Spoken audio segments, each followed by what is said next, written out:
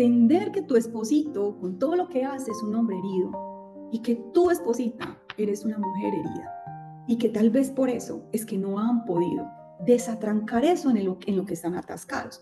Entonces, ¿cómo es un piso minado? Ese que usted camina así. Y cuando usted menos piensa, usted dice, pero yo qué hice?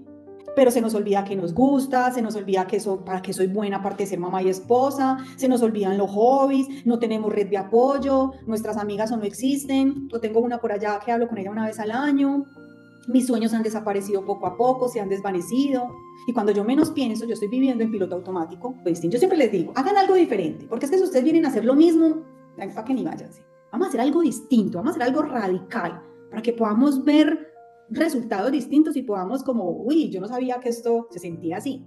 Y con toda la experiencia como terapeutas y todo eso lo unimos en oración y nació el taller. Quisimos que fuera integral por lo que yo les digo. Entonces pasamos por las heridas, pasamos por comunicación, pasamos por manejo de emociones, por sexualidad, por proyecto de vida, por economía, por sacramento del matrimonio. Y todo eso está lleno, lleno, lleno, lleno, lleno, lleno de claves, lleno de herramientas, lleno de estrategias. Es un taller muy intenso, es muy intenso, es virtual, porque hay muchos países donde estas ayudas no llegan. O sea, no le den su vida y su corazón a cualquier persona, sus hijos, su familia, su futuro. Es muy delicado eso y nuestra experiencia, porque entendemos el dolor que ustedes tienen. Sabemos por lo que están pasando. El taller es para el que se quiere fortalecer, el taller es para el que va a salir de la crisis, el taller es para el que está solito, porque no todos los hombres y mujeres quieren estar en estas cosas, lo puedes hacer solo. Eh, la charla de hoy, nosotros la llamamos estrategias para recuperar el control de tu relación de pareja y lo que hicimos fue traer extractos del taller del infierno al cero en el matrimonio. Los que de pronto ya lo conocen, han escuchado de él, pues es un taller muy hermoso que nosotros tenemos, que nosotros decimos que es una bendición de Dios. Y quisimos, ese taller está lleno de herramientas, de claves, de estrategias, es súper es, intenso. Entonces, está lleno, lleno, lleno, lleno. Entonces dije, no, yo quiero una sesión que demos completamente gratis y quise revisar el taller y fue difícil extraer como, como algunas, porque la idea es que esto dure alrededor de una hora, pero bueno, yo creo que hicimos un buen trabajo y aquí les vamos a dar algunas de esas estrategias que trabajamos en el taller. Los que están aquí saben que, que es un camino, nosotros lo llamamos un camino que cambia vidas, entonces espero que lo disfruten mucho. Bueno, entonces los que no me conocen quizás porque también hay muchos encholados, muchos dicen, vení, vení que vamos a ver una sesión allí, vení y lo sientan ahí. Y siempre pasa que dicen, yo soy uno de esos que, que trajeron así como el pelo y no te conozco, no sé quiénes son ustedes. Entonces nosotros somos Ana y Alex, nosotros somos terapeutas de familia y de pareja, nosotros dos. Nosotros llevamos eh, muchos años, yo creo que alrededor de ocho años trabajando con familias y con parejas todos estos años ayudándolas a salir de las crisis, ayudándolos a fortalecerse, a hacerse más fuertes. Nosotros, desde que nosotros somos un matrimonio restaurado, nosotros llevamos ya casi 21 años de casados, pero 10 años nosotros decimos que vivimos un infierno. Nosotros por ahí tenemos un testimonio en nuestros canales. Y de esa experiencia, Dios hizo un propósito, Dios, Dios hizo algo en nosotros y nosotros desde que empezamos el camino de conversión, eh, decidimos luchar por los hogares. Nosotros decidimos luchar porque las familias no se sigan desintegrando, porque los hijos no sigan sufriendo tanto, porque los padres no se sigan separando. Y esa es como nuestra batalla y nuestra lucha. Mm, tenemos varios apostolados. Nosotros pertenecemos a Lazos de Amor Mariano. Tenemos eh, ese apostolado, tenemos el apostolado de Regálame Historia, tenemos otros Muchos, o sea, casi que gracias al Señor, nosotros le decimos gracias Señor por mirarnos y por permitirnos servirte. Y entre esos, esa experiencia como terapeutas, esa, esa experiencia personal y todo lo que nos ha venido sucediendo a través de Regálame tu historia, nos llevó a, a construir el taller del infierno al cielo en el matrimonio. Cuando a uno le hablan, chicos, de estrategias, yo, yo decía, cuando le puse el título a la sesión, yo decía, uno, uno inmediatamente, ¿qué puede pensar cuando le hablan de estrategias? Entonces yo digo, si yo estuviera en el lugar de ellos, yo diría, pues que me van a dar como una ruta, me van a dar como, como, como un paso a paso, como unas indicaciones, ¿sí? Okay. Y es que nosotros en la experiencia que tenemos, sé que aquí hay personas que están mal, yo sé porque a mí me empezaron a escribir mucho hay matrimonios que no están bien, hay personas que están separadas de sus parejas o hay personas que su relación ya está al borde del quiebre, pero también hay otras que me dijeron, Ana, yo no estoy en el infierno ni estoy en crisis, puedo estar, también están. y he tenido novios también, no sé si aquí hay novios, pero la experiencia nos ha permitido ver que la relación de pareja es como una mesa, muchachos. Yo les voy a poner esta metáfora, los que me conocen saben que yo amo las metáforas. Y es como una mesa. ¿Qué pasa con una mesa si le falta una de sus patas? Ella va a tambalear, ¿cierto? O sea, hay unas que son cojitas, pero se sostienen, le falta una pata y se va al piso, ¿cierto? Se empieza como a caer. No se sostiene bien hasta que se cae. Entonces, nosotros vemos muchos matrimonios muy buenos en muchas cosas, pero muy flojos en otras. Entonces, podemos ser muy buenos para hacer dinero juntos, pero no trabajamos como equipo en la educación de los hijos. Nosotros podemos tener buenos momentos íntimos y creer que nuestra sexualidad es la mejor del mundo, ¿cierto? Pero nosotros no sabemos hablar, no sabemos llegar a acuerdos. O nosotros podemos hablar pero de asuntos cotidianos, de pagarse los servicios, llevarse los niños al colegio. Pero ahí sí nosotros entramos en temas complicados. No se sabe quién grita más o cuántos días nos dejamos de hablar. Porque yo me encuentro muchas personas que dicen, pero es que yo no le digo nada. Es peor no decir nada. O sea, se llama violencia silenciosa. Entonces, o falla una pata, o fallan dos, o tres, o todas, pero para que un matrimonio, muchachos, sea verdaderamente feliz, debe estar estable en todas sus áreas. Pero escúchenme bien. Estables. Yo no estoy diciendo perfecta. Perfecto. Nosotros, mi esposo y yo somos unos que nos caemos todos los días. Ya tengo la rodilla raspada, mi amor, ¿sí o no? O sea, nos caemos todos los días, pero nos levantamos distinto. Entonces, mi mesa puede cojear porque tiene una patita más altica, la otra más bajita, pero está estable. Y es por eso que nosotros cuando construimos el taller dijimos, es que no es posible solamente uno ir y decir, ah, yo voy a aprender sobre cómo me voy a comunicar mejor con mi pareja, o yo voy a buscar un sexólogo porque es que mi sexualidad está mal, o es que yo voy a buscar definitivamente, no sé, tenemos problemas en la economía, o buscar un financiero. ¿Cierto? No, yo debo revisar todas las áreas y yo quisiera que este, esta ahorita que vas a estar con nosotros te pongas súper reflexivo, ¿cierto? Y te pongas a pensar si realmente por lo que yo te voy a llevar a navegar es algo que necesite poner atención. Y hoy en día sucede que los matrimonios buscamos ayuda, pero no cuando la mesa cojea. O eso nos pasa a nosotros todo el tiempo. Pocos nos consultan cuando la mesa está cojeando. Nos consultan cuando la mesa se cayó. Entonces nosotros vemos los retiros espirituales llenos en su mayoría de parejas que están, se están jugando la última carta. Y nos lo dicen a nosotros, Ana, este taller es mi última carta. O esta, esta sesión terapéutica que yo estoy tomando, este proceso es mi última carta. Este retiro es mi última carta. Entonces, estamos llenos de personas que ya tienen un pie afuera o que ya definitivamente están divorciados y la idea no es esa. Porque aunque no es imposible restaurar, y se lo decimos nosotros que somos un matrimonio rescatado de las cenizas literal, pues es muy difícil. Es difícil. Y lo que no tenemos hoy en día es la perseverancia, la persistencia, o sea, porque, porque yo lo llamo así, miren, para uno luchar y para uno perseverar de verdad en la restauración de un hogar, debe haber algo de gasolina. O sea, debe haber como ese carboncito por allá que se apagó, pero que vos ves que bota todavía la chispita y de ahí se puede hacer mucho. Pero la idea es que ustedes busquen ayuda. Yo les digo siempre en mis historias, en todo lo que yo publico, es péguense de cualquier retiro, congreso, taller, libro, adoración eucarística, grupo de oración, a lo que los inviten, pero para nutrirse, para aprender. ¿Sí? Pues porque igual lo puedes hacer si ahora estás con el pie afuera, pero es más difícil. ¿Listo? Entonces, hoy les vamos a dar unas estrategias, ustedes van a ir revisando si esa mesita está solo coja o está que cae o ya cayó.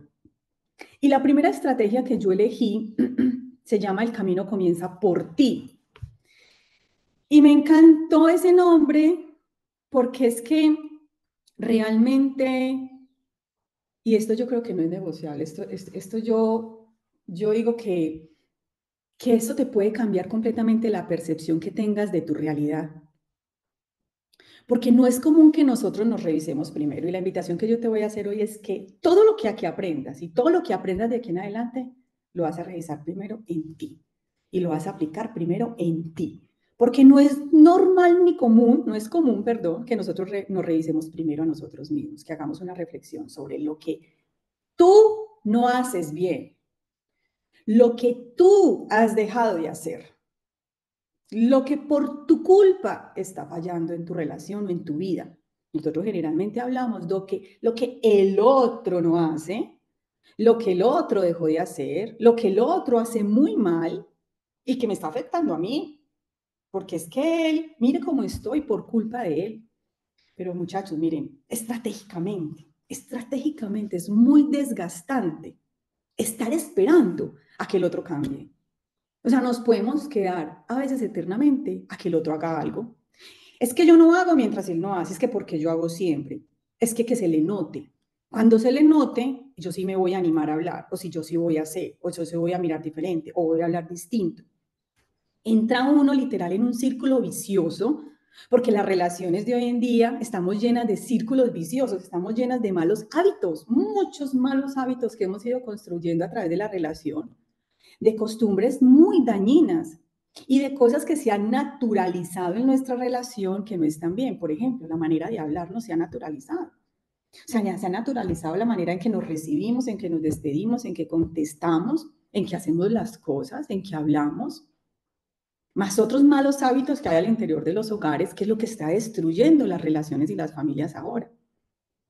Entonces, yo desde hoy quiero invitarte a que tú ya no estés mirando qué no hace o hace el otro. Vas a empezar a entrar en un proceso de reflexión de todo lo que tú no has hecho, has dejado de hacer o haces mal. Y también lo que haces bien, ¿por qué no? Pero es que es más difícil tomar lo malo, ¿ves? Y adicional a esto que yo les digo, en las relaciones de pareja reina mucho la lucha de poder demasiado, o sea, la soberbia, el orgullo, la falta de perdón, las múltiples heridas que no paran y sangran y sangran y sangran. Entonces, todo esto que nos ha vendido el mundo es muy complicado que haga sintonía en nuestra relación. Y por eso es que nosotros nos la pasamos mucha parte del tiempo discutiendo o inconformes o infelices porque estamos esperando todo el tiempo del otro. Y cuando yo, y se los digo porque es que yo atiendo todas las semanas, y la mayoría de las veces, cuando empiezan las sesiones, son todo lo que el otro no hace y todo lo que el otro hace mal. Y cuando yo empiezo a ahondar por el otro lado, son una que otra cosita salteadita y es esa dificultad de reconocer que tú, tú quizás eres quien está iniciando o inició lo que te está pasando. Entonces, vas a empezar a revisarte y vas a empezar, a medida que avancemos, a pensar solo en ti. ¿Listo? Lo que vas a aplicar en ti. Los cambios que vas a hacer tú.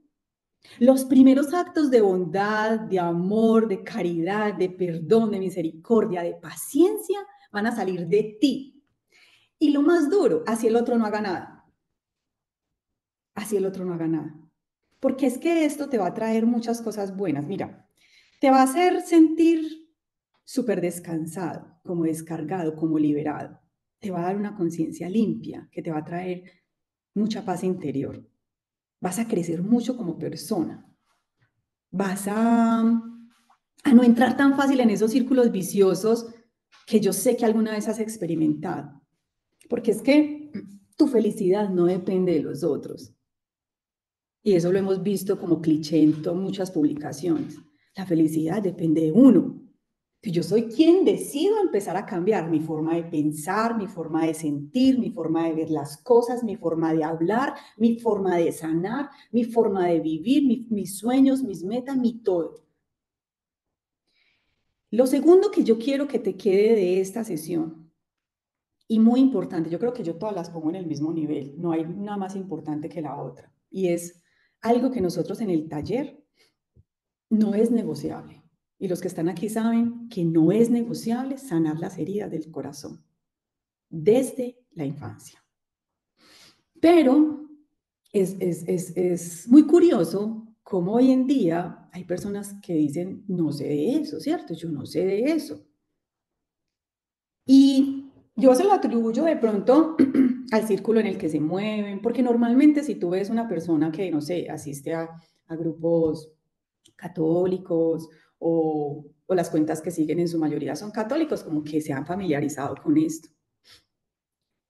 Pero créanme que nosotros hemos experimentado, no solo en nosotros, sino todas las personas que han pasado por el taller, lo que pasa en sus vidas cuando comienzan a sanar. Y les voy a explicar esto. Les voy a explicar esto, pues ojalá yo pudiera dedicarme a cada estrategia como en el taller, porque solamente la de las heridas dura casi seis horas.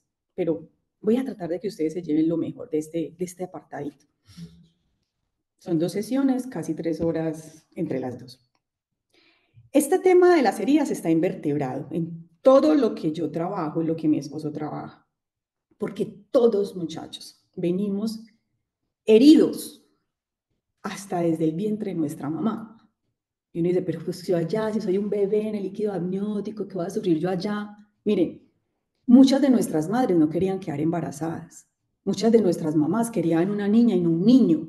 Muchas de nuestras mamás fueron quizás abusadas, hasta por sus mismos esposos. Fue una, un momento donde fuiste concebido, pero fue a la fuerza. Muchas mamás de nosotros tuvieron realidades muy duras estando embarazadas. Y todo eso lo viviste tú en el vientre.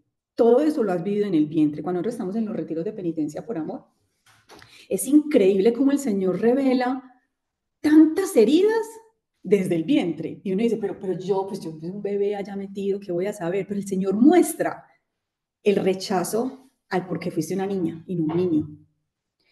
Ahora imagínate si eso es en el vientre, ¿cómo será cuando ya naces? Cuando ya empiezas a ir al colegio, cuando empieza todo el, el tema este de los amiguitos, de las niñas, de los niños. Y un ser humano, todo, todo ser humano necesita sentir, anoten esto, amor, atención, afecto y afirmación. Todo ser humano. Si en algún momento de tu vida una de estas dosis se da o por defecto, o sea, no se da, o por exceso, nos causa una herida. Así que dimensionen cuán heridos estamos, porque a me dicen, Ana, pero es que, a ver, yo vengo de una familia hermosa, mis papás fueron súper bellos conmigo, yo, yo en el mejor colegio de mi ciudad, yo la verdad, yo como querida, herida no estoy. Pero va usted a mirar y tiene heridas de hiperexigencia, eh, de sobreprotección, si tú ya también recibes demasiado afecto, demasiada afirmación, eres el mejor, tú eres el campeón, siempre eres bueno, siempre lo tuviste todo económicamente. Todo eso hace que cuando tú eres adulto te saque la factura. Y por eso cuando nosotros nos casamos, cuando estamos en una relación con otra persona, nos juntamos un par de heridos, un par de heridos literal Además que tenemos una puntería, muchachos, para meter, eh, para que el otro, yo no sé cómo es eso, pero el esposo, la esposa, sabe dónde meter el dedo en la llave. O sea, sabe perfectamente dónde es que a mí me duele. Y créanme que eso no lo hacen conscientes, que ella es una persona mala. Yo voy acá, yo sé que ella tiene esta herida de abandono, yo sé que ella sufrió por... él. No, eso no lo hacemos así. Ojalá, pues no, ojalá no. Sino que esa capacidad no la tenemos así hasta para las cosas buenas. Tenemos una puntería, sobre todo las personas, de, de hacer eso con las personas que amamos, con el que convivimos. Esa persona, yo le decía a mi esposo cuando nosotros estábamos mal, mi esposo sabe que yo cuando estoy en sesiones y en taller ventilo muchas cosas de nuestra intimidad, porque yo creo que, que eso ayuda mucho, no sé. Y, y bueno, no sé, yo se los doy con mucho amor. Me pone a sufrir. Pero eh, yo le decía a mi esposo cuando estábamos discutiendo que nosotros entrábamos en unos círculos viciosos increíbles. Ahorita les cuento, por ejemplo, cómo hablábamos nosotros de Maluco. Y yo le decía, es que tú sacas lo peor de mí, le decía yo. O sea, tú tienes la capacidad de sacar la basura más grande que yo tengo en mi corazón. Y yo sentía que Alex con su manera de hablarme, como así, era como si le metiera candela, me metía candela y de verdad que salía de mí hasta cosas que yo ni conocía. Alex me decía, es que tus ojos cambian, tu cara. Él decía que mis ojos se transformaban. Y eso hacemos los matrimonios, ¿cierto? Y lo más triste es que nosotros a veces no sabemos por qué, por qué pasan tantas cosas que pasan.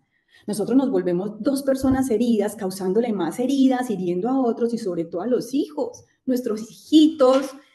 Claro, entonces si yo tengo una herida de hiperexigencia, claro, yo soy con mis hijos súper estrictos, soy pasada y ese niño va, crece con sus, esas heridas, va, bueno, es impresionante.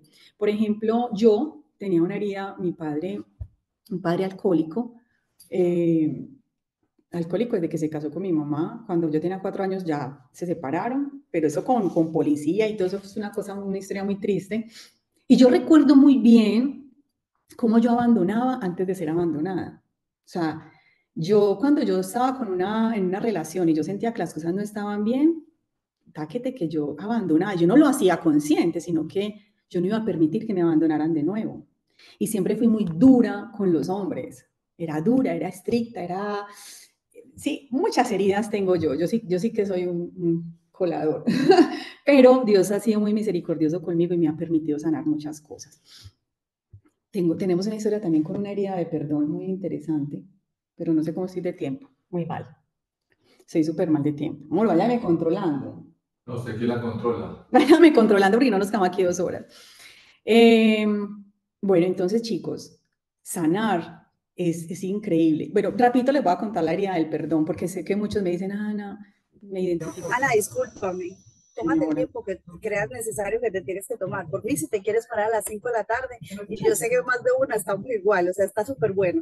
Así que, yo no, usted, usted hágale para adelante, que eso está súper, así sea que toque en el almuerzo y uno ahí pegado. Almuerzo, punto. no, Dios les pague, de verdad. Lo que pasa es que de verdad que me encanta hacer esto. Me, me apasiono, me emociono y, me tomo más tiempo de lo que es. Pero bueno, listo. Emociones más seguido y denos más charlitas de estas. Así va a ser, créame que así va a ser.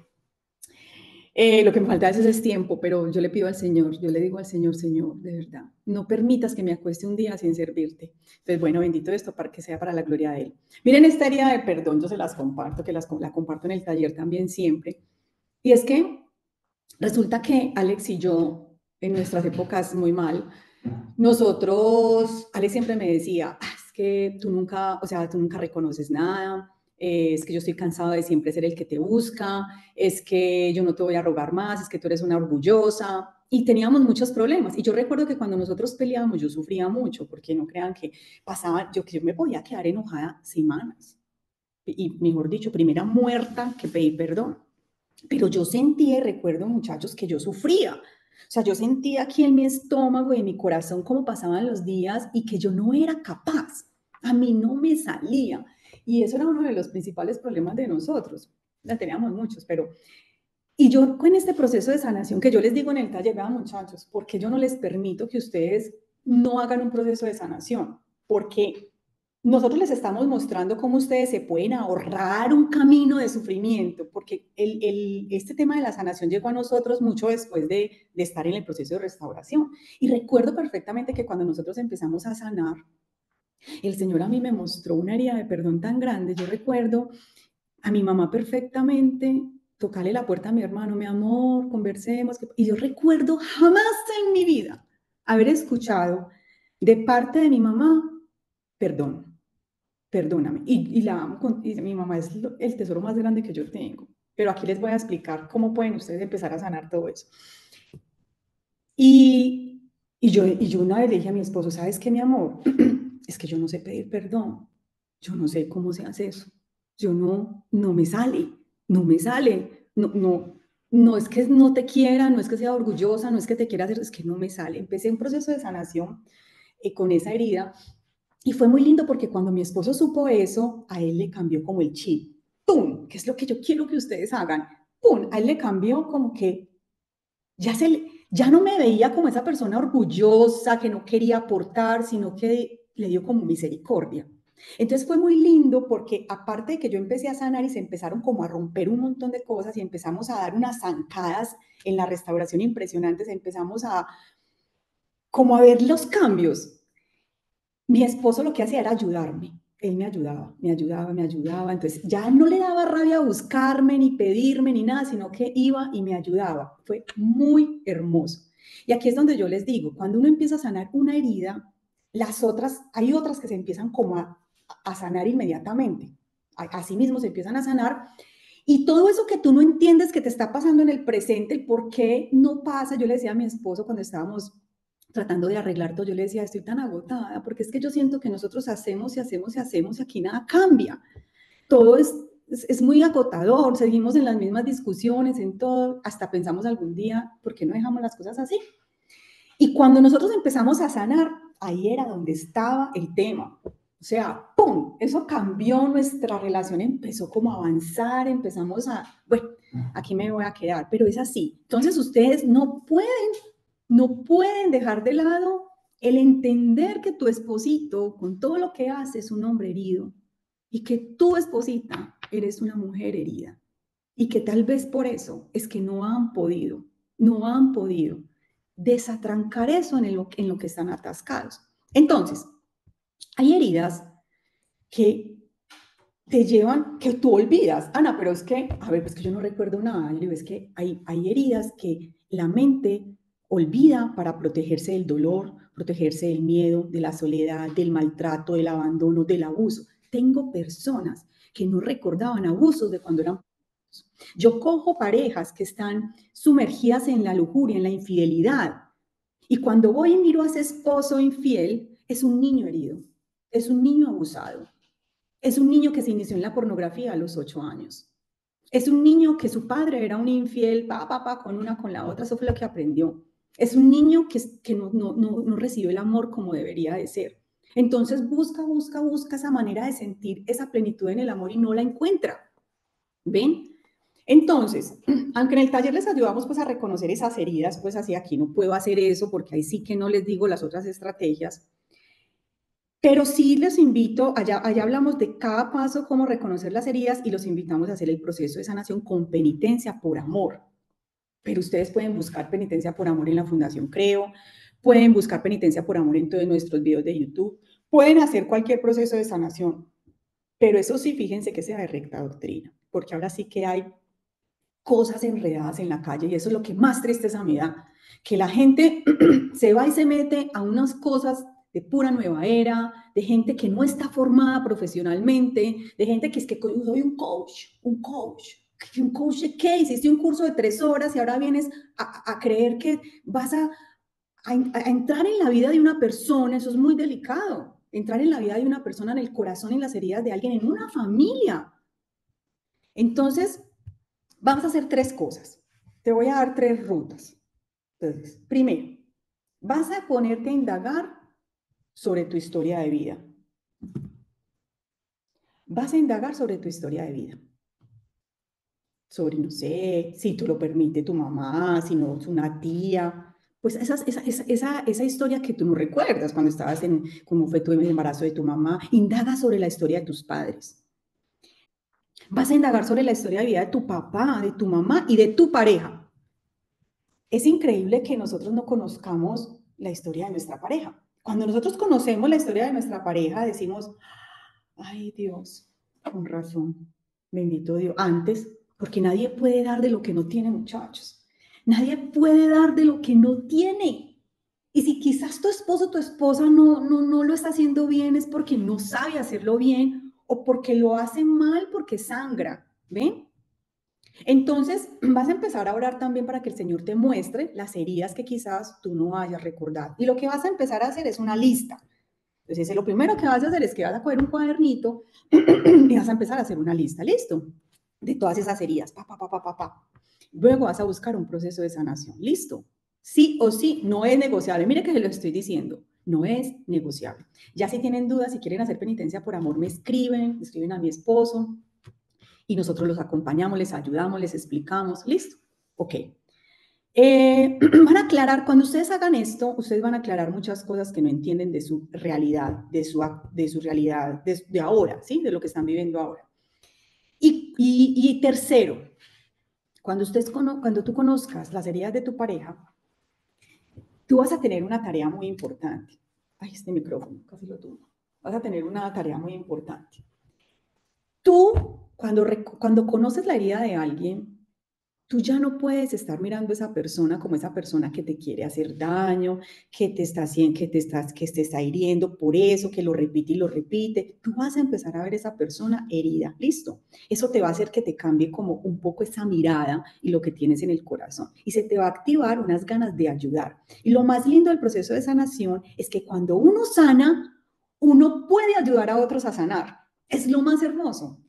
Porque es que imagínate un ciego guiando a otro ciego. O sea, póngase a imaginar realmente, tú estás ciega, estás herida, y vas a guiar a otro ciego hacia dónde van, a un hueco, a contra el muro.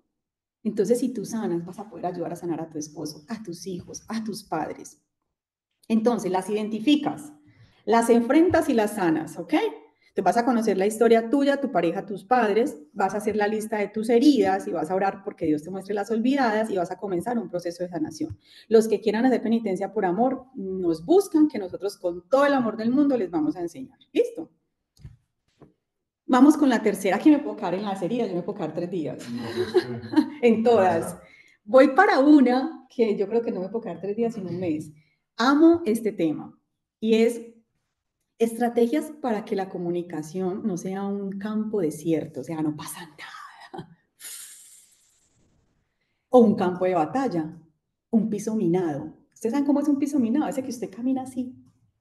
Y cuando usted menos piensa, usted dice, pero yo qué hice? ¿Yo qué hice? Pues usted camina sobre un piso minado, usted no sabe ni siquiera ahí qué hubo. Entonces, lo primero que quiero es que te hagas esta pregunta. Te vas a hacer esta pregunta. Puedes ir respondiendo en el chat, a nosotros nos encanta leer todo lo que ustedes ponen. ¿Por qué es tan difícil hablar con la pareja y con otras personas no? ¿Por qué es tan difícil hablar con tu esposo, con tu esposo? Pero con la vecina hablas tan rico, con los del trabajo hablas rico, con los del estudio hablas bueno. ¿Por qué? ¿Saben por qué? Por lo que yo les hablaba ahorita. Porque en los matrimonios, en las relaciones, eh, prima la lucha de poder.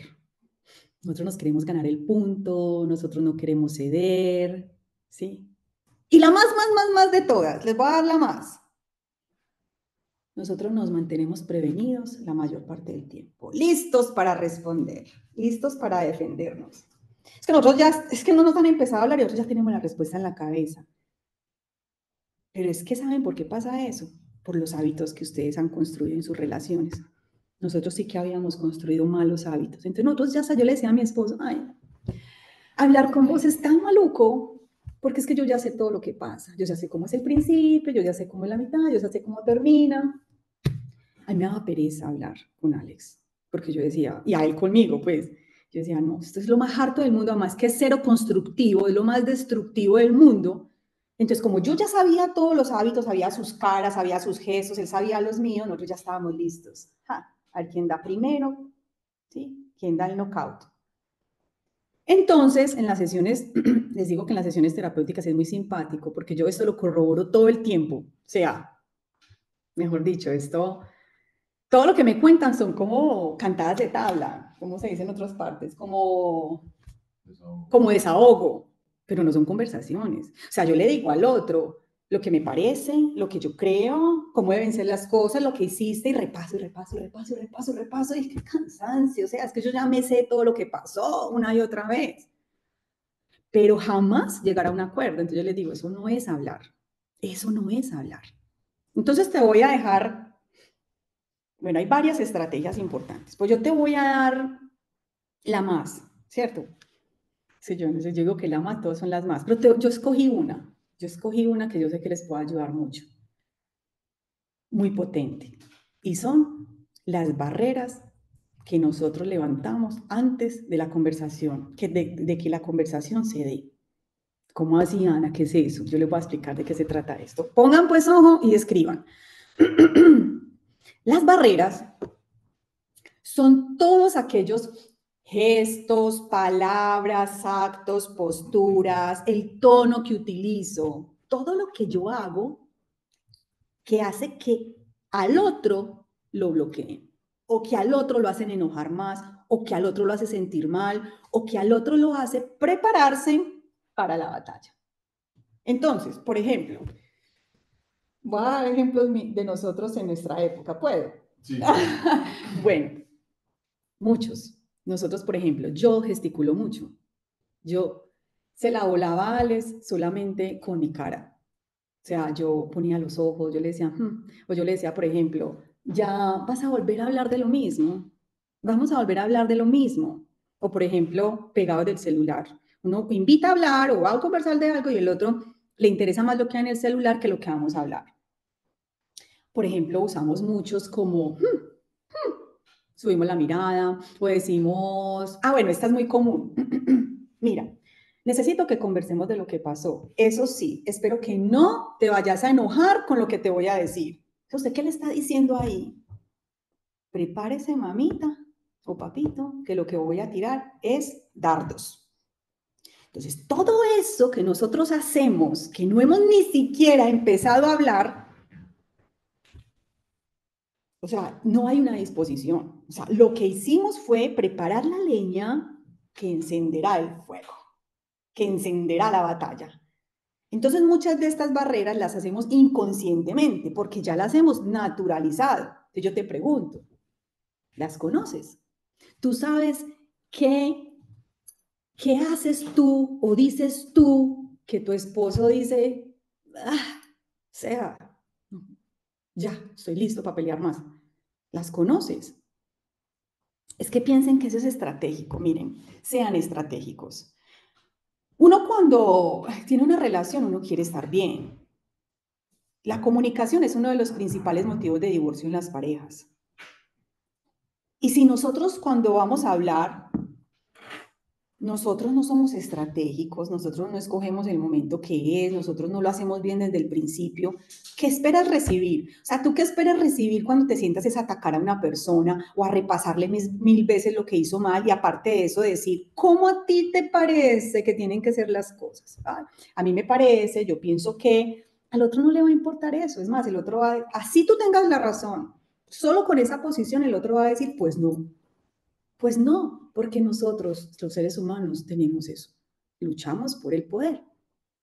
Y somos muy orgullosos y somos muy soberbios, muy soberbios. Entonces, tú vas a hacer un ejercicio. Anoten pues. Tú le vas a preguntar a tu pareja, no vas a hacer los que tú crees. Ah, es que yo, a ver, ¿yo qué hago? Yo hago estas tres cositas. Cuando le preguntan a la pareja, no son tres cositas, son 28 cositas. Cuando nosotros hicimos este ejercicio, porque nosotros lo aplicamos obviamente nosotros y con todos nuestros consultantes y en los talleres y todo, eh, yo cuando Alex me decía cosas de mí, que, pues, que lo bloqueaban de mí, yo, yo pensaba en, yo pensaba en mi mente, yo pensaba, ay, eso tan bobo, pues eso tan, tan pequeño, ¿cierto? Pero es que no, eh, importa si es pequeño, importa es que a él le molesta importa es que para él eso es importante. No importa si para ti es pequeño, pero si tú eres estratégica, te interesa que a él no le dé más rabia. Entonces, yo tuve que hacer un trabajo muy grande con mi, cara, porque yo un día le dije, entonces voy a cambiar de cara.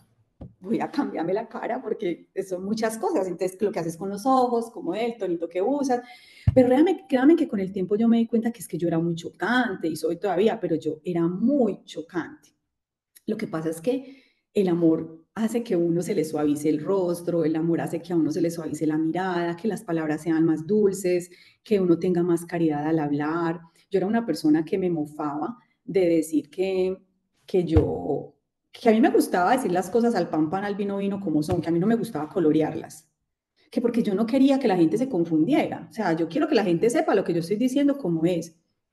Y yo después algún día entendí que yo estaba faltando mucho a la caridad y que yo estaba hiriendo corazones, dándomelas de pura soberbia y de orgullosa y de yo no sé de qué. Y empecé a cuidar mucho mis palabras, mis gestos, mis posturas, mi todo, sí, como todo. Me falta demasiado, pero el Señor ahí está ahí poco a poco haciendo su obra.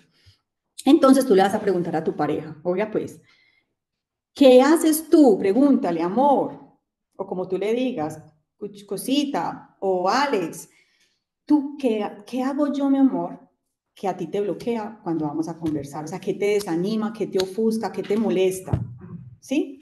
Y eso que se digan no lo van a volver a hacer. No lo van a volver a hacer. Y ustedes me van a escribir. Solo con eso, ¿cómo va a cambiar ese momento? Va a cambiar completamente. Nosotros queremos que funcione, ¿cierto? Nosotros queremos crecer, queremos que las conversaciones sean productivas, que no sean destructivas. Entonces yo te aseguro que si tú evitas y respetas, porque hay que respetar, ah, pero es que usted sí es bobo diciéndome eso, eso no, usted me choca esa bobada. No, respetémonos. Entonces, si ustedes respetan eso, ustedes van a tener la puerta abierta porque el camino va a estar. Bueno, hay muchas otras que podemos aplicar en el camino, pero yo sé que esa les va a ayudar bastante. Listo. Entonces hay que aprender a hablar de todo, muchachos. De lo pequeño, de lo grande, de lo bueno, de lo malo, de lo doloroso, de lo feliz. Y antes de pasar a la otra estrategia, yo les voy a dar este, esta metáfora que, que nosotros usamos mucho y es cuando tú dices, yo no voy a hablar de eso, ¿para qué? No, es que yo no quiero pelear, no, es que con él no se puede hablar. Voy tragando, voy echando tierrita, voy dejando todo así, que recibo pacientes así. Cuando ya por allá explotó, es como una bomba que se va inflando, inflando, inflando, inflando, inflando, pero no una bomba de piñata, una cosa así gigante. Y como recibí ayer a una consultante, pasó una cosa. Y, y, ¿Qué se necesita para que esa bomba explote? No necesita que le entierren un clavo. Necesita un, un roce. Está tan llena que solo con un roce estalla. Entonces ahí es cuando me dicen, Ana, pero es que no pasó nada malo, es que eso fue una bobada y mira, estamos separados, se fue de la casa, es que no necesitaba que pasara algo grande, necesitó cualquiera, para que explotara. Entonces, ven que hay muchas cosas que tenemos que afinar. Vayan viendo cómo está la mesa de ustedes. Aquí voy con otra. Ay, miren la. Aquí voy con otra, es que no quiero que se me aburran. Aquí voy con otra que voy a enlazar con esta, y es que como en el diálogo y la comunicación, o sea, son situaciones donde más las emociones de nosotros nos hacen quedar mal, porque díganme, ¿a quién no lo ha hecho quedar mal una emoción mal manejada? Un ataque de ira, ¿sí? Una, una ofuscación, una tristeza, por ejemplo, cuando estamos muy tristes, sobre todo cuando sufrimos la infidelidad, pasan muchas cosas en, las emociones, eso es, un, torrente increíble, nos hacen quedar muy mal. Entonces la otra estrategia de las que yo les voy a hablar tiene que ver con el manejo de emociones, un tema súper apasionante como todos, pero este es muy apasionante también, porque muy pocas veces nosotros nos preocupamos por aprender sobre inteligencia emocional. O sea, uno dice, ay, ¿cómo así? ¿Qué es eso? Si eso parece que sonara por allá todo, todo. No, miren, la inteligencia emocional es nada más y nada menos que tú tener control sobre esas emociones que te vienen al pecho. Que tú no estés diciendo, ah, pues que yo le grité porque él se lo buscó, es que yo le pegué porque él me provocó, y es que pasa, o sea, ¿cómo yo puedo controlar todo eso que entra y sale dentro de mí? Todas esas emociones, sino que tú eres el dueño de tu mente. Tú puedes controlar todo, desde lo que piensas hasta lo que sientes, y no que las emociones y los pensamientos te controlen a ti. Yo encuentro personas así presas de una emoción, tristes la mayor parte del tiempo, aburridas, porque esa emoción las tiene envueltas, presas, o sea, no salen de allá. Entonces, miren estas dos reglas básicas. Ojo pues acá. La más, yo les dije que les iba a dar las más. Todo pensamiento genera una emoción. Toda emoción te lleva a una acción. ¿La cogieron? No, todo pensamiento, todo, todo, todo, todo, todo pensamiento te va a generar una emoción. Ahora imagínense las mujeres que pensamos 80 mil cosas al día. Todo pensamiento te trae una emoción y toda emoción te va a generar una acción. Entonces yo se los voy a explicar para que ustedes tengan clara esa regla, para que ustedes tengan clara esa regla y puedan empezar a trabajar en ella. Esto es algo que se entrena. Esto no es algo que tú vayas a... Lo, la inteligencia emocional no es algo que tú logres con una charla. Tú debes entrenarla, entrenarte como un ciclista cuando va a ser el mejor del mundo, que entrena 10 horas diarias, así te vas a entrenar tú. Entonces, la clave está en lo que nosotros decidimos pensar. Los pensamientos, ay, no, es que me llegó un pensamiento, ¿cierto? Listo, claro, una situación, estás viendo un accidente, estás viendo una discusión, estás viviendo algo, viviste algo en la cotidianidad y viene el pensamiento, pero tú decides cuánto tiempo te permites que ese pensamiento se repita una y mil veces en tu mente. Entonces te voy a dar ejemplos de esto. Tú llegas y va, a, dar uno bueno y uno, y uno no tan bueno. Entonces, por ejemplo, uno bien bonito.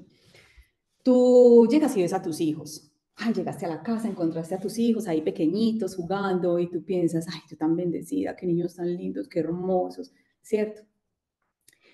Inmediatamente a ti te da una sensación de alegría, una emoción de alegría, muy agradecimiento. ¿Y qué haces? Vas, los abrazas, los besas o suspiras. Algo haces. Algo, un ejemplo no tan chévere. Mm, por ejemplo, tú sufriste una infidelidad. Entonces tú llega a tu esposo a la casa y tú lo miras y dices, este desgraciado, o sea, de verdad, yo no me lo merezco, pero ¿cómo? ¿Cómo es posible? ¿Cierto? Tal cosa, empiezas a pensar. Es que esa, pasa mucho y se repite demasiado. Inmediatamente te viene la rabia, el dolor, te viene la, se me escapa la, la palabra, pero la, no, bueno, me viene esa, esa rabia, ese dolor, ¿cierto? ¿Y tú qué haces? Algo haces. O lo miras feo, o le dices algo, o te vas, o hasta vas a vomitar. Algo haces, ¿ves? Todo pensamiento te va a generar una emoción y toda emoción una acción. Pero entonces yo les voy a dar una clave. Dos emociones contrarias no pueden estar juntas al mismo tiempo. Yo no estoy feliz y triste. Yo estoy feliz y al momentico puedo estar triste porque yo estoy muy contenta y me pasó algo y me puse triste. Pero yo no estoy triste y feliz. No. Ah, es que tengo como una mezcla de tristeza y felicidad. No, no. O sea, no. Eso es otra emoción diferente, que ni es ni tristeza ni es felicidad. Entonces, si dos emociones contrarias no pueden estar juntas al mismo tiempo y si las emociones las trae el pensamiento, ahí me van entendiendo. ¿Cómo les parecieron esos videos? Aquí, ¿cómo les parecieron? Extremos. Extremos. Aquí tuvieron que haber experimentado dos cosas. ¿Cómo en esas imágenes tan tristes de nuestro Señor cómo ese corazón se nos arrugó. Pero cuando empieza la canción, a uno se le empieza a mover como el piecito, como el hombrito, como, ¿cierto? y nuestro corazón se alegra. Así funciona, muchachos. Pero también puede haber pasado otra cosa, que aquí es donde yo les quiero corroborar lo que les estoy enseñando, y es,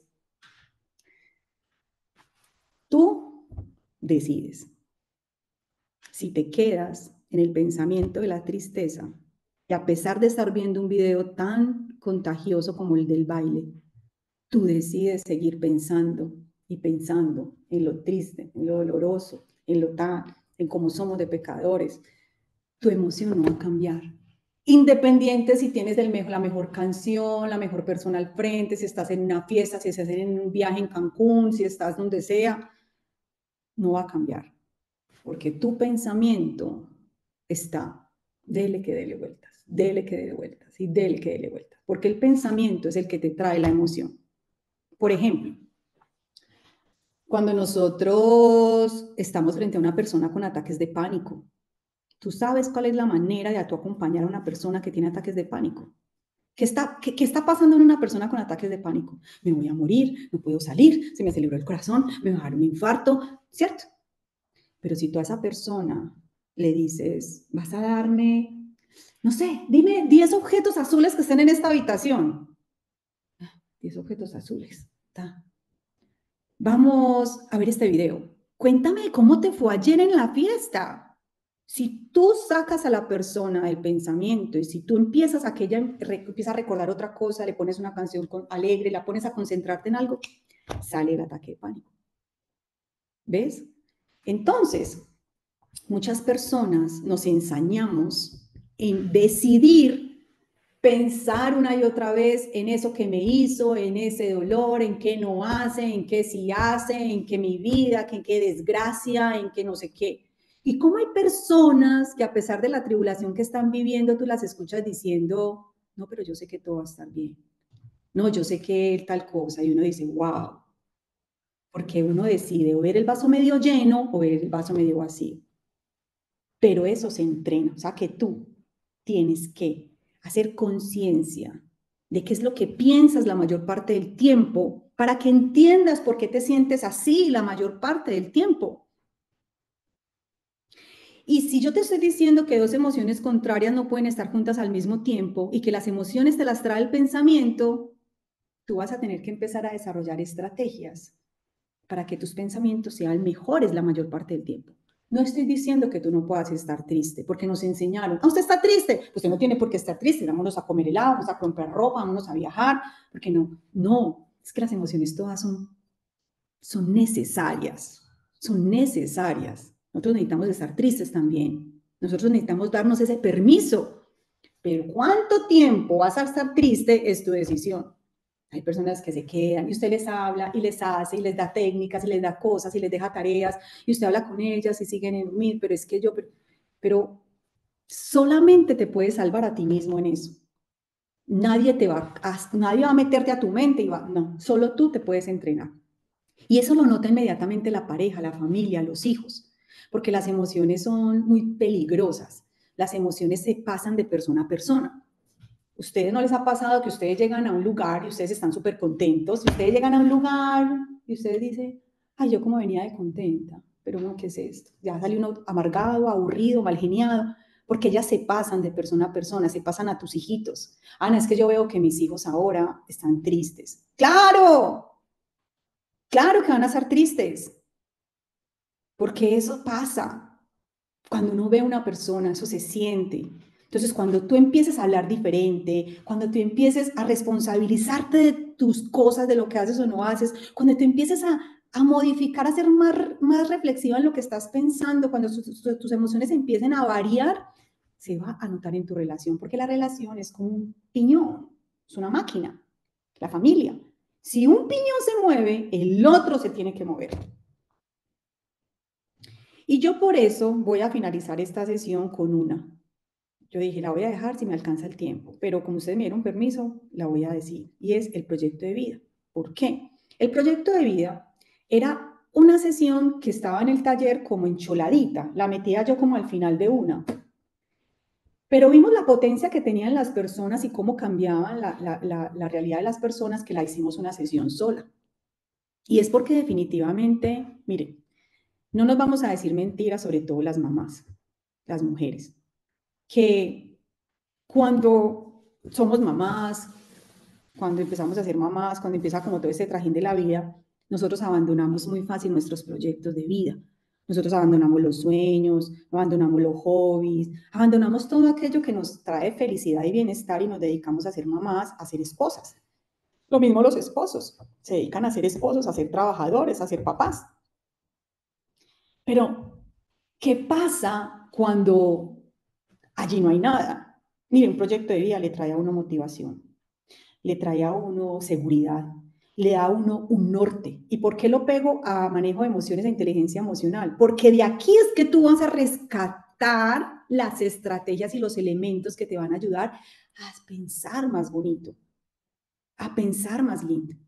Y mire, es que Dios no nos dio solamente al esposo y a los hijos. Y yo digo algo que a veces ha causado controversia. El esposo y los hijos, la esposa y los hijos son un punto en tu vida.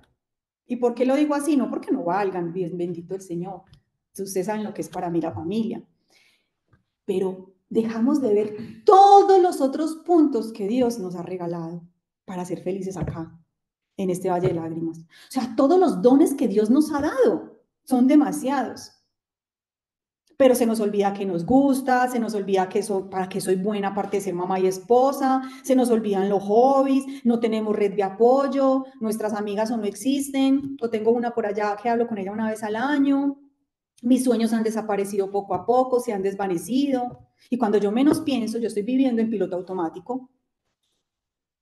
yo estoy viendo en piloto automático y me dijo algo, una señora me dijo algo en, en uno de los talleres que a mí me atravesó el corazón. Me dijo, Ana, eh, yo abandoné todo por mis hijos, por, por estar con mis hijos. Y, es que estar con los hijos, ¿quién dijo que estar en la casa? Yo soy ama de casa, yo soy de todo acá, pero así sean dos, yo no los abandono. Mentiras, los tuve que retomar, si los había abandonado, ahorita les cuento esa historia. Entonces, eh, me dijo, pero no, yo, yo solo me dediqué a ellos y mis hijos hoy en día me reprochan eso, porque ellos notan que su mamá, ahora que ellos ya crecieron, está sin piso como, como frustrada, triste, no sabe ni para qué es buena, no sabe qué le gusta. Y yo una vez hubo un tiempo que me dediqué a eso. Yo por mi historia de vida, digamos que me volví muy, muy que me volví, tuve que ser independiente desde muy pequeña, tuve que trabajar desde muy pequeña, tuve que salir adelante, entonces me volví una mujer como muy independiente. Y yo me dediqué a trabajar, a trabajar, a trabajar. Y un día alguien me preguntó, Ana, ¿vos qué te gusta hacer? Y yo me quedé en blanco. ¿Y a mí qué me gusta hacer? ¿Qué me gusta hacer? Muchachos, casi no lo encuentro. Y yo me, eso me sacudió, porque como así que yo no sé a mí qué me gusta hacer? Bendito Dios, yo, algo no está funcionando bien, hay una pata que está cojeando. Entonces, allá es donde yo los quiero llevar a ustedes. Si sus sueños poco a poco se han desvanecido, ¿cierto? Si estás viendo en piloto automático, si tienes un proyecto vida por allá empolvado, lo tuviste pero lo tienes empolvado o ni siquiera sabes qué es eso, nunca has tenido uno, yo les voy a, a enseñar eso. Eso me dice que estoy despelucada. Yo vivo despelucada. Entonces, ah, yo quiero que ustedes hoy en día, hoy en día no, hoy se vayan de acá a esta sesión, dispuestos a sacudir la casa, como le digo yo. Yo les llamo la casa como a ese hogar o a esa vida que está llena de telarañas, empolvada, con algunos muebles boca abajo. Ustedes van a empezar a ordenar para que ustedes empiecen a disfrutar, para que ustedes empiecen a ver algo distinto. Yo siempre les digo, hagan algo diferente, porque es que si ustedes vienen a hacer lo mismo, empaquen y váyanse. Vamos a hacer algo distinto, vamos a hacer algo radical, para que podamos ver resultados distintos y podamos como, uy, yo no sabía que esto se sentía así. Listo. Entonces, vamos a pensar en que este proyecto de vida que voy a retomar o voy a hacer es el que te va a dar de nuevo la motivación, ¿sí? Que te va a dar seguridad, que te va a dar un rumbo, te va a dar un, norte, ¿ok? Va a ser tu bastón. Cuando tú estés triste, cuando tú estés pasando por una tribulación, tu proyecto de vida va a ser tu bastón, te va a sostener en las pruebas duras, porque allí van a haber cosas que te van a traer felicidad, bienestar, desarrollo, crecimiento, y por eso no vas a dejar de ser mamá. Ana, es que yo soy mamá de cinco niños chiquitos. ¿Y qué? No pasa nada. Es que un proyecto de vida no consta de 20 mil cosas. Pueden ser dos, pero que esas dos te traigan bienestar. Entonces, vamos a ver. Vamos voy, a, voy a tratar de hablarle al que nunca lo ha tenido y al que lo tiene empolvado. Listo. Vamos a ver cómo lo vamos a retomar. ¿Sí? Entonces, les voy a dar tres pautas. Me toca escoger algunas, pero les voy a dar las mejores. Entonces, el primero, ustedes van a listar todo aquello que les gustaría hacer. No importa, en pelicúlense. Todo aquello que les gustaría hacer que les traiga felicidad. Puede ser algo que hayas abandonado, puede ser algo que quieres explorar, por ejemplo, yo no me imaginé que a mí se me fuera a despertar tanto lo que se me despierta cuando veo cosas de carpintería. No tenía la menor idea, pero yo escucho hoy en día un taladro y a mí me brinca el corazón. Entonces ahora tengo unos proyectos por ahí en madera. Me encanta pintar, pero no había vuelto a pintar. Desde que Sara nació yo no, yo no pintaba. Porque hay que escoger cosas que se adapten a tu realidad. No me daba tiempo. El que tiene cinco niños chiquitos no puede decir que es que en su proyecto de vida, no sé, se va a dedicar a viajar a Europa o hacer el camino de Santiago y después irse para... No, o sea, hay que, hay que buscar cosas que se adapten a la realidad tuya en este momento, pero tus hijos crecerán y ya vas a saber hacer esto. El que no tenga ningún proyecto, lo que va a hacer es que va a tratar de recordar cuando era niño. Entonces tú vas a recordar con qué soñabas, cuáles eran tus juegos predilectos, con qué jugabas, qué habilidades tenías, eso ayuda muchísimo como a conectar desde esa esencia, desde eso que, que salía innato de mí, que viene a ser esos dones, eso que el Señor te regaló, para que, para que eras bueno. Ah, no, es que yo era bueno para liderar y organizarlos a todos. Y luego los que los tenía organizados, empezaba mi show. Cogía el papel higiénico y empezaba a cantar, ¿me entiendes? Y tú vas a empezar a sentir cómo tu corazón empieza a brincar. Ahora, también, ¿qué puedes hacer? ¿Qué me pasa a mí? Ver imágenes, escenas, o sea, esté, esté atento a lo que tú ves que te hace brincar el corazón. Por ejemplo, yo no soy buena para leer. Pues como que leerme libros y libros, no soy buena, me duermo. Pero porque mi mamá me acostumbró a que se los leía y me los contaba como una historia y mi esposo también, pero ahí estoy en el proceso. ¿Por qué? Porque resulta que cuando yo veo a alguien leyendo, yo veo escenas, imágenes de alguien como en una hamaca, como en una silla leyendo, y a mí me da algo tan bueno, muchachos, yo digo, qué rico, yo quisiera sentir, o sea, yo sé que yo siento algo ahí.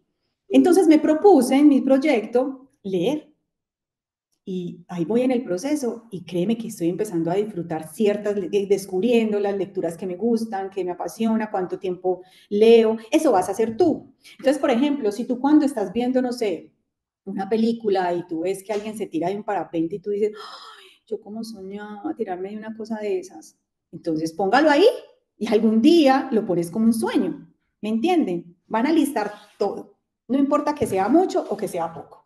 Ana, los, proyectos, proyectos son sueños también, o son sueños. Entonces te voy a decir qué son.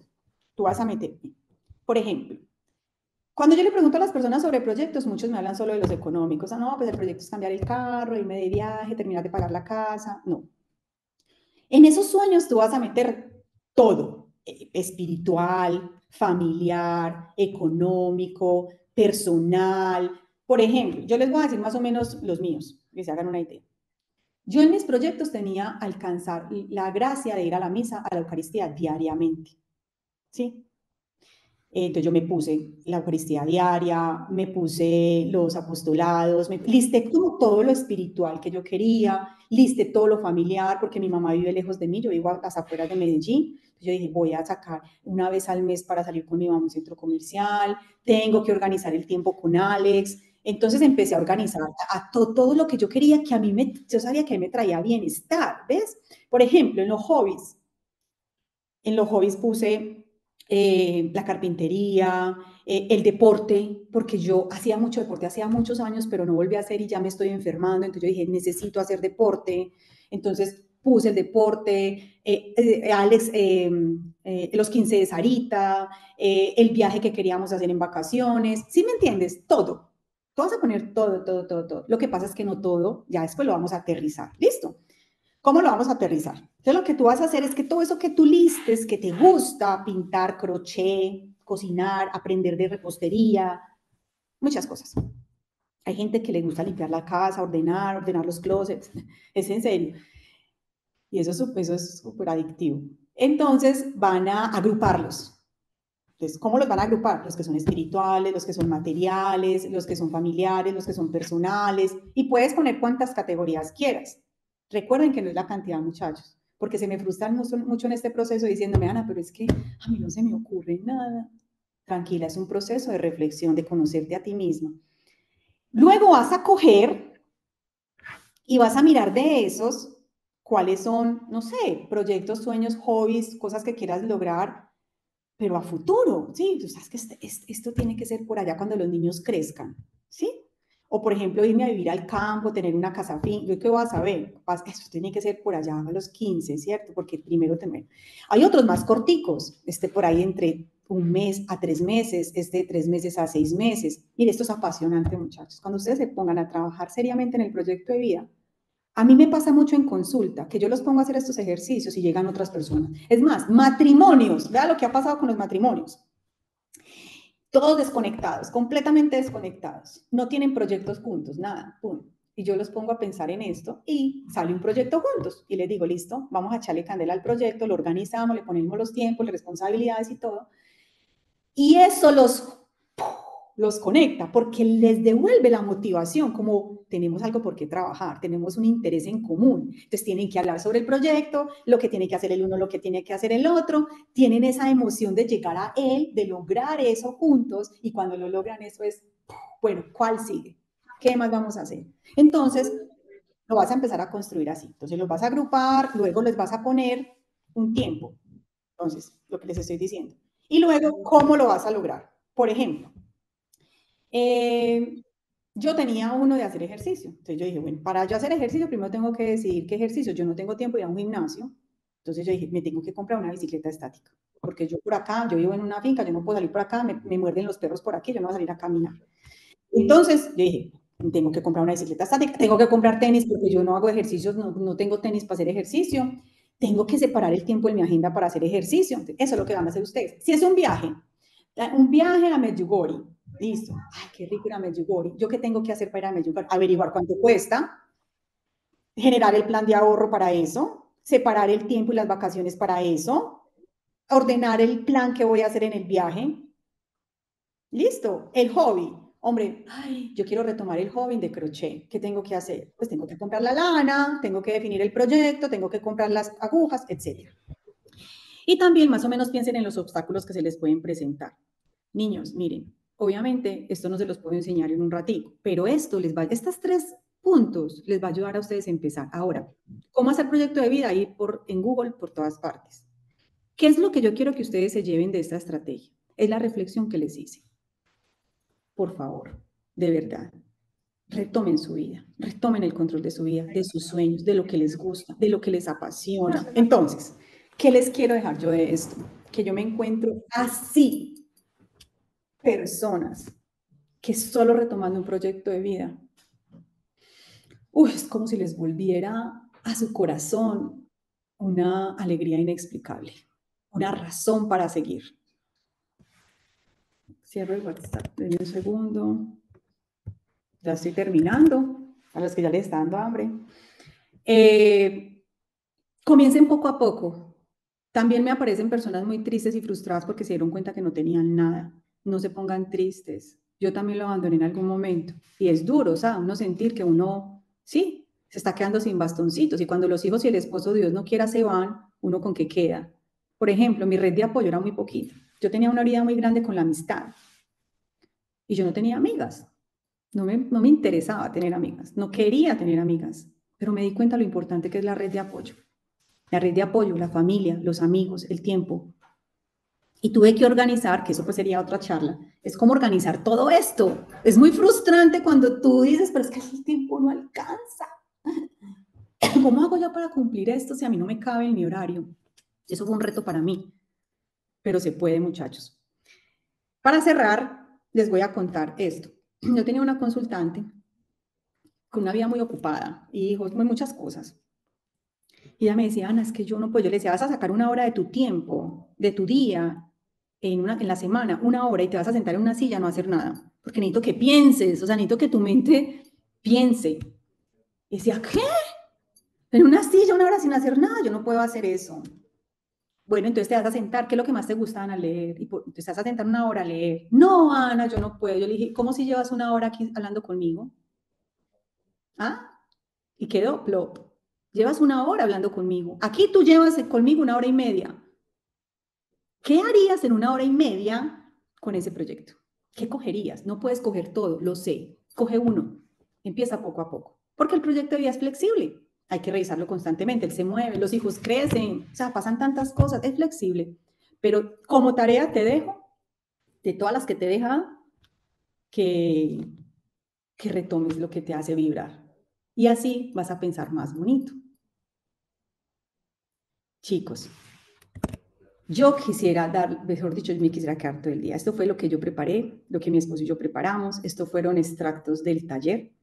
Eh, ahora eh, vayan dejando sus preguntas, sus dudas, que Alex está ahí atento pues a responder y también ahorita abrimos el micrófono si quiere.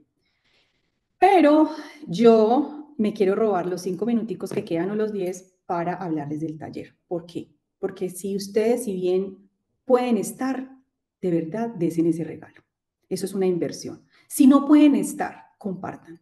Uno no sabe cuántas vidas y familias se han salvado solamente porque a alguien le llega un link porque alguien le dice, mira, haz esto, haz aquello, escuché esto, yo en este momento no puedo, o no estoy preparada, o no quiero, pero quizás tú sí. Entonces yo digo que ese es el granito de arena que nosotros podemos hacer por las almas y por las familias. Entonces, yo no sé si aquí hayan personas que conocen el taller del infierno al cielo en el matrimonio, yo les voy a hablar muy general. El taller del infierno al cielo en el matrimonio va para la sexta versión. Es un taller que nació porque sentíamos esa necesidad de que ya no podíamos atenderlos uno a uno, ya no nos da el tiempo. pero dijimos, ¿cómo hacemos para ayudarles? Entonces dijimos, vamos a construir algo en oración y les mostramos cómo nosotros nos restauramos, cómo nosotros nos sostenemos, porque es que uno no toca el y Dios mío, la gente dice, entonces ya no pelean. claro que peleamos, pero distinto. Entonces, ¿cómo nosotros nos sostenemos? ¿Sí? Y con toda la experiencia como terapeutas y todo eso lo unimos en oración y nació el taller. Pero el taller no quisimos que fuera un taller solo de comunicación, solo de sexualidad, solo de manejo de emociones, solo no. Quisimos que fuera integral por lo que yo les digo, porque ustedes revisan todas las patas de la mesa. Entonces pasamos por las heridas, pasamos por comunicación, pasamos por manejo de emociones, por sexualidad, por proyecto de vida, por economía, por sacramento del matrimonio, y todo eso está lleno, lleno, lleno, lleno, lleno, lleno de claves, lleno de herramientas, lleno de estrategias. Es un taller muy intenso, es muy intenso, es virtual, porque hay muchos países donde estas ayudas no llegan, donde no acceden las personas tan fácil a un retiro, a un taller, a un congreso. Entonces, esta es la oportunidad de que se unan a algo bueno, algo seguro, algo sano. Ustedes están en un lugar seguro, no están por allá con alguien que les va a meter nueva era, no están con alguien que está inventando, nosotros somos profesionales, nosotros nos formamos, nosotros no estudiamos tres meses. Mi esposo está terminando con una universidad de España, su maestría en matrimonio y familia. Yo soy terapeuta de familia de pareja de la UPB de acá de Medellín. O sea, no le den su vida y su corazón a cualquier persona, sus hijos, su familia, su futuro. Es muy delicado eso y nuestra experiencia, porque entendemos el dolor que ustedes tienen, sabemos por lo que están pasando. Y los que se quieren fortalecer, bendita, me dicen, Ana, nosotros somos novios, podemos estar. Yo, bienvenido los novios, amo que vengan novios para que aprendan. Hay muchos novios. En el taller pasado tuvimos unos novios que venían al taller a discernir esa vocación, como a confirmarla. Y en el taller decidieron que se iban a casar y nos eligieron como padrinos. Ah, eso fue hermoso. Entonces el taller es para ustedes. El taller es para el que se quiere fortalecer, el taller es para el que va a salir de la crisis, el taller es para el que está solito, porque no todos los hombres y mujeres quieren estar en estas cosas, lo puedes hacer solo. ¿Por qué? Porque yo ya te mostré que hay muchas estrategias que dependen de ti y que las grandes transformaciones comienzan por ti. Entonces puedes estar solo. He tenido personas ya divorciadas y me dicen, Ana, me voy con una paz, me voy con una tranquilidad, me voy diferente, pensando distinto. Entonces, eh, ese es el taller. El taller comienza el primero de noviembre. Vamos a estar alrededor de nueve sesiones. Cada sesión dura más o menos de dos a tres horas. No, no estamos solos. En sexualidad nos acompaña María Paula como suyo, nos acompaña Janet de, la Fundación Creo, nos acompaña Jesús, que es un apologista súper teso, ex protestante. En el taller la pasamos muy bien. En el taller compartimos muchas experiencias. El que no quiera abrir micrófono no lo quiere, no lo tiene que abrir. El que no quiera abrir cámara no la tiene que abrir. Pueden ver las sesiones grabadas porque muchas personas están en diferencia horaria. Eh, y al final quedan perteneciendo a un grupo hermoso que se llama Matrimonios con Propósito, que es un grupo, eso no tiene costo y es para que sigamos acompañándonos y, acompañándonos y nos sigamos formando. Vamos, respire. Le voy a ayudar para que respire un poquito. pues algo, es que ni agüita me dio mi esposo. Miren, algo muy importante es que las personas casi siempre postergamos las cosas o las dejamos para después. Le dice, ah, o esto no es relevante, esto no es importante. Eso se soluciona. Mira, yo, yo les dije, de pronto tenemos un, un podcast donde yo les decía que a muchas personas les encanta cargar una palita. ¿Por qué? Porque a todo le echan tierra. Ah, a, a este problema no te preocupes, echémosle tierrita y seguimos adelante. No hablan, no lo discuten, no dialogan. Usted no sabe qué herida está generando y que después obviamente va a seguir cobrando factura como ya lo viene haciendo todo lo que ustedes están haciendo. Hay otra cosa muy importante que les digo, eh, aquí está Connie, Tania, varios que, estuvieron en el taller anterior me lo han escuchado, pero a mí me gusta repetírselo a las personas y los que no, no me han escuchado, yo les digo, miren, usted, usted el día de mañana, tanto usted como yo vamos a partir de este mundo, un día vamos a morir y nos va a tocar dar cuenta de lo que hicimos, tanto lo bueno como lo malo. Entonces yo sé, tengo la certeza de que el Señor nos va a preguntar dos cosas. ¿Qué hiciste por la salvación del alma de tu esposo o de tu esposa? ¿Y qué hiciste por la salvación del alma de tus hijos? Esa es nuestra responsabilidad, porque estoy llamado a ayudar a mi esposa a llegar al cielo y ella a mí. Si yo no hice nada, si yo no hice nada, no hice nada o hice algunas cosas, pero no todo, yo les digo, mira, haga, haga todo y un poco más. Que usted el día de mañana que tenga que dar cuentas, diga, hombre, yo hice todo Ah, que es que él no quiso. Él le tocará rendir cuentas y también hablar frente al Señor de qué hizo y qué no hizo. pero usted Sí. haga todo lo que está en sus manos. Que no le quede a usted remordimiento, "Uy, si yo hubiera entrado a ese taller, o es que no tiene que ser este taller, puede ser un congreso, un retiro, eh, una formación, no sé, eh, una terapia, pero es que yo no hice nada, yo no hice eso que me mostraron, porque es que el Señor también pone los medios y pone personas, circunstancias, para que usted pueda trabajar en su relación. Y tranquilo si el esposo es cristiano, también Ah, ha sí. pasado que vienen de otras religiones y hizo, no, pasan cosas muy lindas. Que ojalá les pudiera contar todos los testimonios. Ahorita miramos si los que están aquí pueden, del taller pueden hablar. Pero bueno, entonces, los que quieren saber más del taller, ahí en el feed de Instagram hay mucho, nos pueden preguntar en el grupo, les podemos mandar detalles, en la página web están los detalles también. Pero, Tania, en tres palabras, su opinión del taller. Mucha sabiduría, mucho conocimiento y muchísimo amor propio y amor de Dios.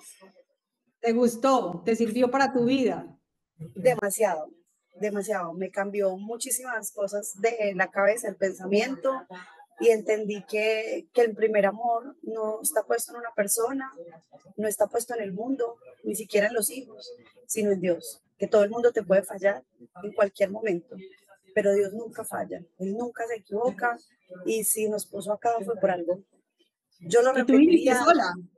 Sí, sí, yo estoy separada. Yo lo repetiría una y mil veces, una y mil veces. A mí me encantó.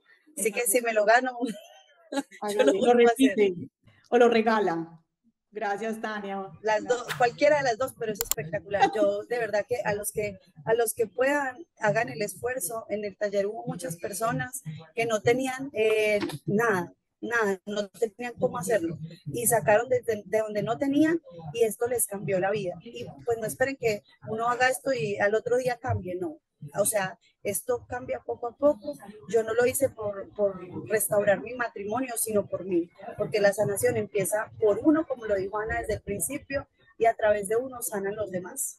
Entonces, eh, porque no es, no es la, o sea, la voluntad de Dios. Si Dios nos tiene para volver, chévere. Y si no, por lo menos yo sané. Amén, amén. Y no te preocupen si el esposo no quiere, no se estresen por eso. Recuerden que las grandes transformaciones van a empezar por ti. Ujú.